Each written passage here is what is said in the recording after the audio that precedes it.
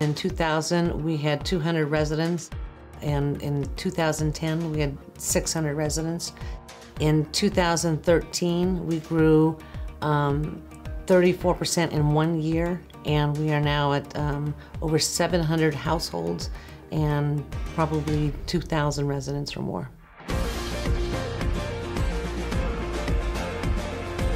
Any community needs balance, and I think Timnath embraces that, that we have diversity. I mean, we have uh, young single families, we have uh, young families with children, we have uh, retired folks, and everything in between. And we want a place for residents to feel like they have a high quality of life, that they've got plenty of open space, that they've got all of the amenities that they would want to really enjoy everything Northern Colorado has to offer.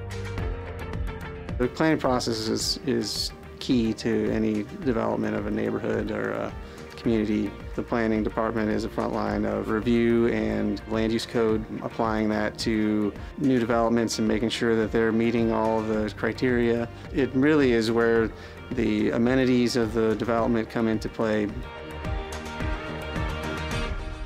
Parks, uh, trees, landscaping, the, the shape and form uh, we work very closely with applicants and their vision and our planning commission to carry the town's vision forward and, and really make it a special place to be.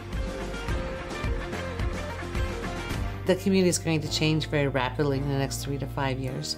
We are in, poised in a position for continued growth. Uh, we have a number of new subdivisions that are on the drawing board that are beginning to go through the process at this point in time. So I think you're going to see a number of things. One will be an increase in diversity of housing types, as I mentioned. We're going to see patio homes to large homes to estate homes to family starter homes.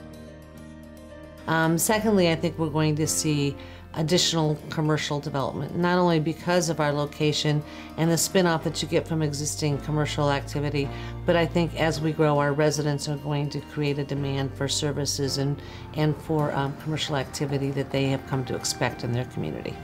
15 years from now, we will really be able to see the groundwork that we laid and, and what Timnath is really kind of maturing into. This is an opportunity that almost never comes along uh, to have a blank slate like this for a, a community that's growing and a community that has the opportunity to financially do what's right when it's right. Uh, that, that almost never happens and be in the mix of everything that's happening in northern Colorado, which is, you know, one of the most vibrant places in our state and in the nation right now.